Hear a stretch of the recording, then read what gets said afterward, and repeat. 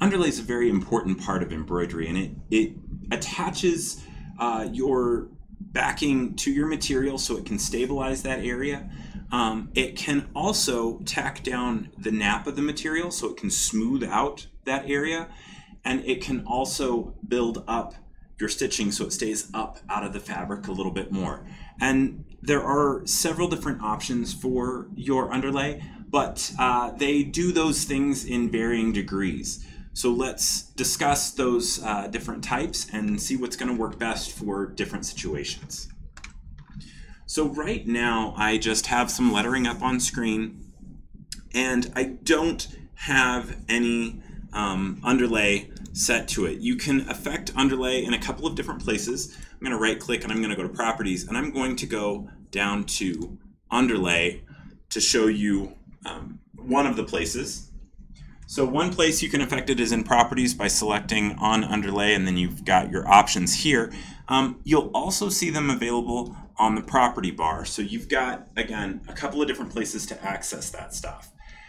I will uh, access it through the object property window um, just so that you can see the properties of those different underlay settings because you can modify how they work.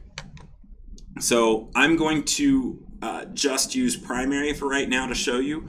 Um, there is a primary and a secondary. The, the only difference is when they sew. Primary sews first, secondary sews second. I'm not going to go in the order that they come in the drop down. I'm going to go in more of an order of a kind of least aggressive to most aggressive underlay. So the first one I want to look at is center walk. And what center walk does is it walks down the center of your element. Now, in uh, the design that's on screen right now, you can see that there are some stitching, uh, some pieces that just stitch down the middle. Uh, for instance, so let me highlight this again. Uh, right down here in the M, here in the E, those aren't actually underlay. They can kind of work a little bit like underlay, but all that really is is a travel stitch. So I'm starting the N, pardon me, the M here, and then I'm traveling down, and then I'm satining up over it. All right, I just use satin as a verb. I don't know if it really is, but we're going to pretend. All right, so now I want to go into my primary underlay, and I'm going to select center walk. So center walk is just a single line of stitching. So I hit apply, and it shows up on screen. So now you can see that it has that one single line of stitching going all through the form. Um, depending on, on your uh, selections, um, if you use continuous, it will underlay the whole letter at one time and then come back and sew over it.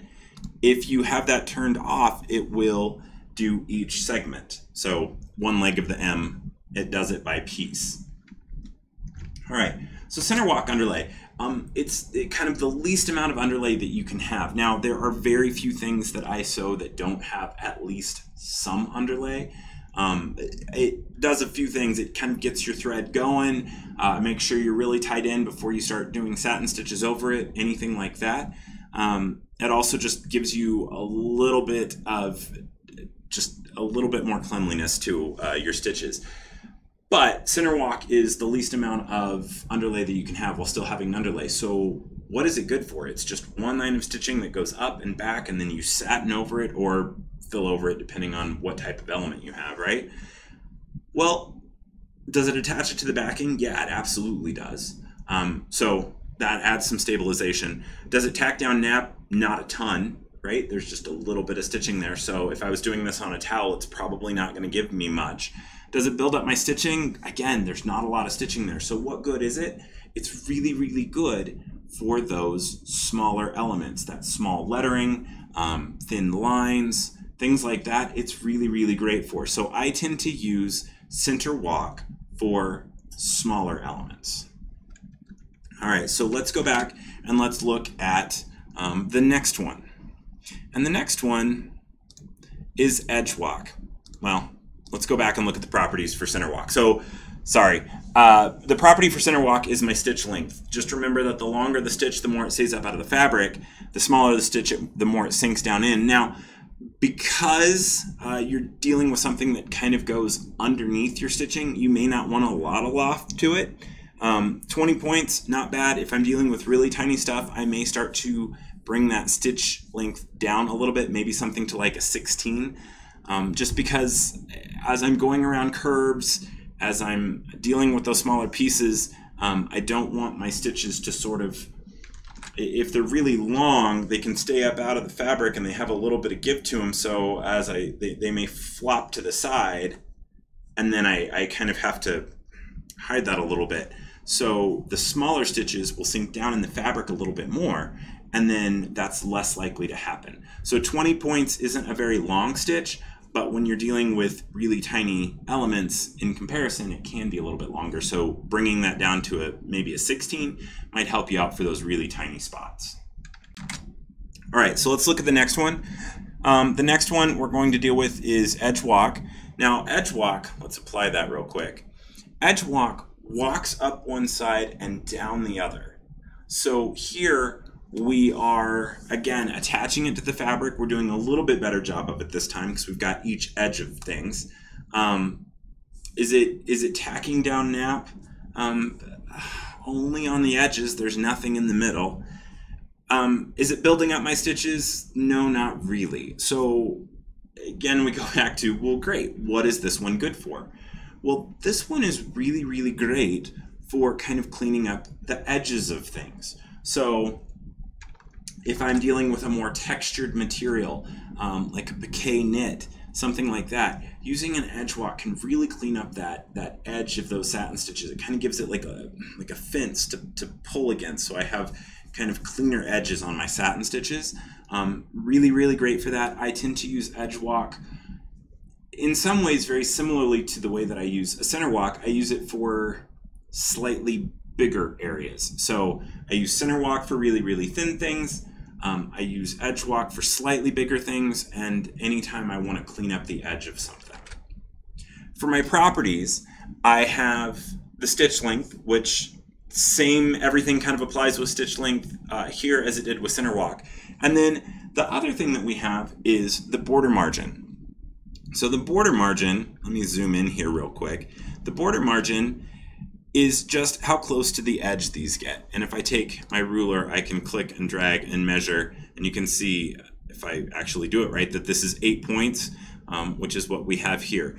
You have the option of absolute or percentage.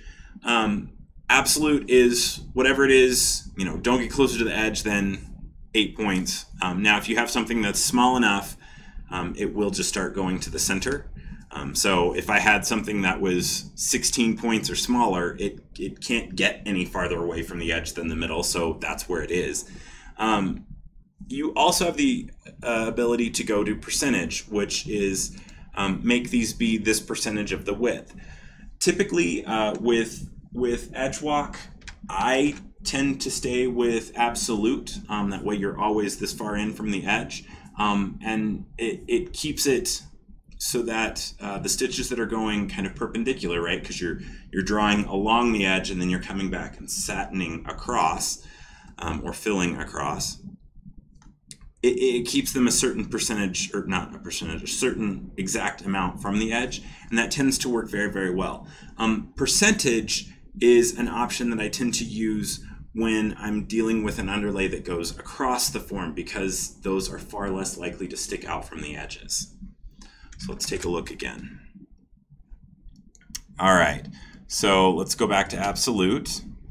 And now let's look at one of the next ones, which is a zigzag. So a zigzag walks up the middle and zigzags back. So here we are starting to develop layers, right? We have a center uh, just a walk that goes up the middle and then you're coming back over the edge. So I've got a couple of layers. I'm really attaching it to the backing. I'm starting to build up my stitches and I'm starting to tack down um, any nap or texture of the fabric. This one, because you're going across the form, right, we're zigzagging back and forth across the form, I'm less likely to hang out. So I can use percentage. That way it kind of uh, stays proportional to the um, design itself. All right. So if one zigzag is good, two is better, maybe. Uh, double zigzag is the next one, and that one zigzags forward and zigzags back. This one's really starting to crisscross over itself. It's really starting to tack down nap. It's starting to build up my stitches. So if I was dealing with um, a very textured, uh, maybe a towel, something like this, this is something that I might consider. Now, with this, you have the ability to do more than one uh, underlay. So I might choose to do a double zigzag to start and then an edge walk to finish it up. So I've got a textured garment, again, like a towel. Maybe I do a double zigzag and then an edge walk to clean up those edges. And that can work very, very well for me. All right, so the next one over is not something I use all the time on um, lettering. I will do it occasionally if my lettering is big enough, but it's a fill underlay. Um, so let me just create a fill. Typically fill underlay is used for kind of bigger elements. Um, and right now we've got auto underlay on, which I'll talk about in just a moment. Um, so it's automatically doing it. This has two fills, so this has a primary fill and a secondary, pardon me, a primary underlay and a secondary underlay. They both are fills and they are crisscrossing over each other. For here, you have the option of changing your border margin. So how close to the edge am I?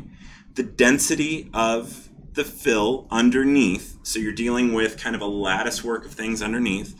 And then the angle. So let me turn off the secondary. So we're just dealing with the primary. Now, the thing to keep in mind about this angle is it is in relation to the stitch angle. So if I change the stitch angle of my fill, or my stitching, this, this would occur with a satin stitch as well, it will change.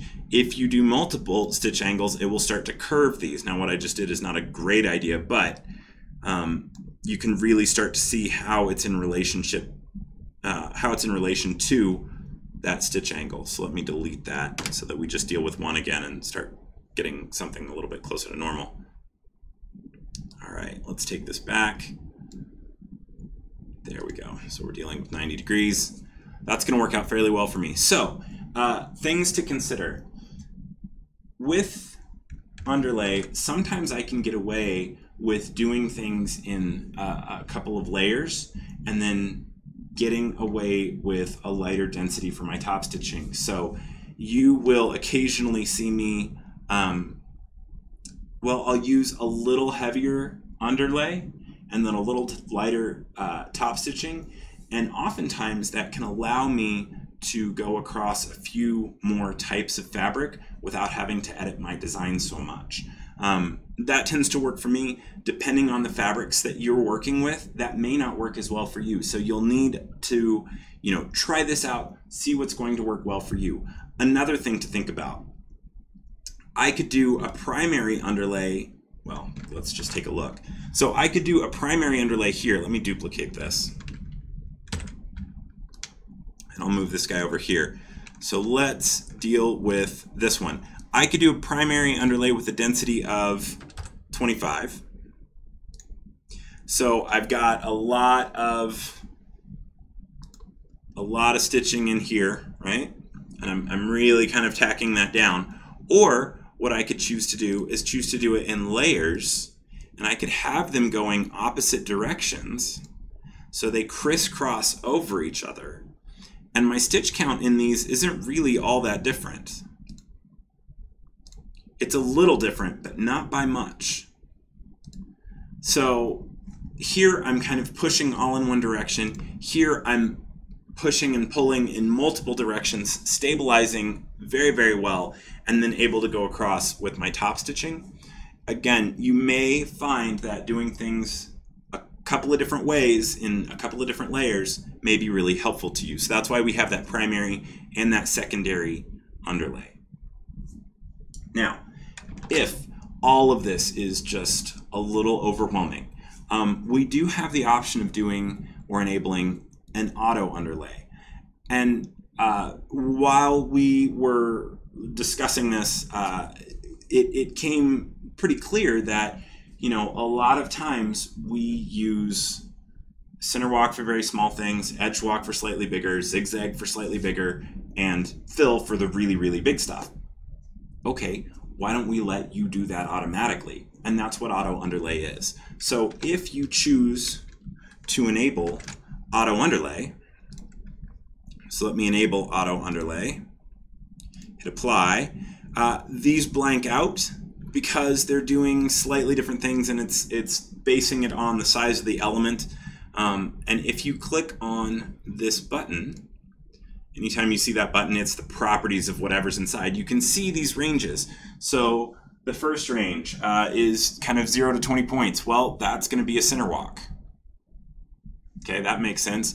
A little bit bigger is an edge walk. A little bit bigger than that, a zigzag with an edge walk to clean up the edge. And then if you go really, really big, it's going to be two crisscrossing fills. So you've got kind of, um, well, I mean, honestly, you've got a good chunk of my preferences, a good chunk of my friend Scott's preferences, kind of in the software already. So we got together and said, okay, what do you do? What do you do? We kind of average all of our stuff, kind of give you the best guess at what's going to work well for the majority of things. Is it going to work all the time? No, you may need to tweak it, but you've got some really good starter points in here.